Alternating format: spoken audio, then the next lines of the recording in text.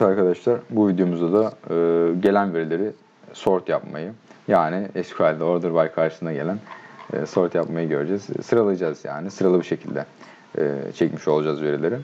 Şimdi arkadaşlar bunun için biz şuradan itibaren gerek yok ya da şöyle yapalım. Aynı zaten sadece şuraya ilaveten ne yapacağım arkadaşlar? Şöyle find'dan sonra bakalım. Tamam şuraya arkadaşlar. Heh, şuraya da sort yazıyorum. Sonra arkadaşlar buraya ben bir dakika şunu görelim. Sort yazıyorum arkadaşlar. Ondan sonra bu bir tane parametre alacaktır. O nedir? Şuraya nokta koymayı unutmuyorum ayrıca. Sort yazdıktan sonra bu içine 1 alır veya eksi 1 alır arkadaşlar. 1 alırsa ascending, eksi 1 alırsa arkadaşlar bozuk yapıyı. Eksi 1 alırsa bu da descending. Yani 1 alırsa normal işte e, küçükten büyüğe diyelim. E, A'dan Z'ye normal bir sıralama yapacak. Eksi bir de tam tersi olacak. Ters bir sıralama yapacak. Dolayısıyla ben normal bir sıralama yapmak istiyorum. E, o yüzden tabii şöyle ben sıralayacağım da ne, neye göre sıralayacağım? Yani ismine göre mi, ID'sine göre mi? Tabii ben ismine göre sıralayacağım mesela. A'dan Z'ye ismine göre sıralayacağım. Orada da isim diye belirtiyorum.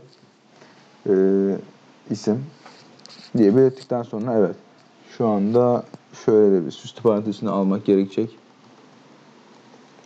Şu anda arkadaşlar evet isme göre A'dan Z'ye sıralamasını bekliyorum. Çünkü 1 girdim. Eksi, eksi 1 girseydim isme göre Z'den A'ya sıralamasını bekleyecektim. Şimdi zaten veriler vesaire aynı. Herhangi bir koşul girmemişim. Tamam.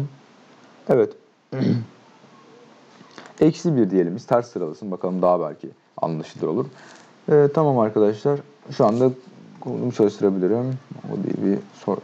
CS. Şu anda evet. Bakalım arkadaşlar. E, görüldüğü üzere Ahmet, Ali falan zaten bunlar sonunda ve e, bir dakika. Ha, bunlar eski kayıt galiba. Bir dakika. Tabii tabii. Bakınız ben şurada yazdım. Buna dikkat edin. Ben e, programı şurada çalıştırdım. Buradan itibaren verilere bakıyoruz. V ve V'den başlatmış. O yani düzgün bir şekilde çalıştığı doğru arkadaşlar. Tamam. E, bir girersek işte Ahmet'ten falan başlar. Sorgu geç yapabilir diye şu an çok denemek istemiyorum. E, bu sıralama bu şekildeydi arkadaşlar. Evet delete komutuna geçelim arkadaşlar. Şimdi delete komutunda da şuradan itibaren yine aynı şekilde e, tabloyu vesaire belirtiyorum. Zaten işte efendim select olsun yani find olsun, insert olsun, delete olsun hep buradan itibaren başlıyor arkadaşlar. Delete yazıyorum ben buraya. Delete one. Yani bakalım bir dakika delete one. Bir de bunun çok su varmış neyse. Delete one yazdım ben buraya. Ondan sonra arkadaşlar ben buraya e, bir koşul belirt belirtebilirim. Tabii belirteceğim tabi. Ama tabi merak ettiğim bir şey var. Eğer ben e, koşulu belirtmezsem acaba SQL'de olduğu gibi tablonun hepsini silecek mi? Belirtmiyorum o yüzden. Böyle bir den deneyelim arkadaşlar, öğrenelim. Ondan sonra hata varsa onu alır. Ee, herhangi başka bir parametre vermem gerek yok. Zaten direkt kendi çalışmasıyla beraber e, iş tamam olacaktır. Bunu kapatıyorum vesaire. Hata hatamız varsa hatamızı alalım arkadaşlar.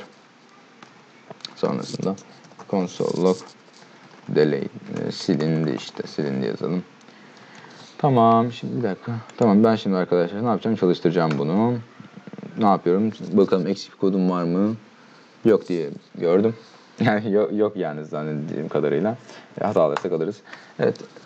Çalıştırdım ve silindi mesajını aldım. Bakalım neler olmuş arkadaşlar burada. Bakalım burada neler olmuş. Hiçbir şey olmamış. Hiçbir şey silinmemiş mi? Hayır silinmiş.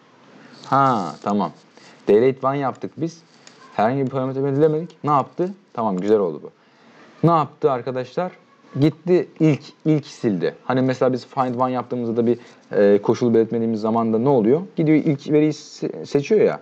Burada da arkadaşlar delete one yaptım. Koşul belirtmedim. Gitti o da ilki sildi yani. Ne yapsın değil mi? Fark ettiniz. Ali vardı burada ilk olarak. Şimdi şu an Mehmet var. Ee, Ali'yi sildi yani. Ali yok. Zaten 9 verimiz vardı. 8 kalmış. Ondan sonra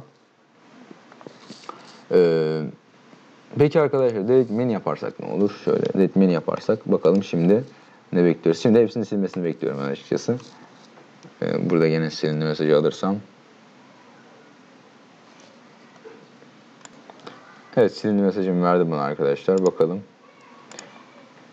Tablomuza bakalım şu anda. Evet. Görüldüğü üzere e, tablom yerinde duruyor. Veri tabanım duruyor. Lakin arkadaşlar ne oldu?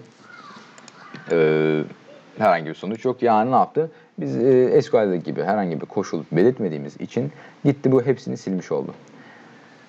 Evet arkadaşlar delete komut da bu şekildeydi. Koşul zaten belirtmek istersek e, onu öğrendik aslında. Delete one. Şimdi tekrar veri girmekle uğraşmayalım. Delete one işte. Mesela ismi e, Ahmet olanı sileceğim ya ben. İşte bu şekilde belirtiyorum arkadaşlar. Sonra komutumu çalıştırsam şu an isim Ahmet olan biri varsa onu siler. Bu şekilde arkadaşlar e, izlediğiniz için teşekkür ederim. Başka videoda görüşmek üzere.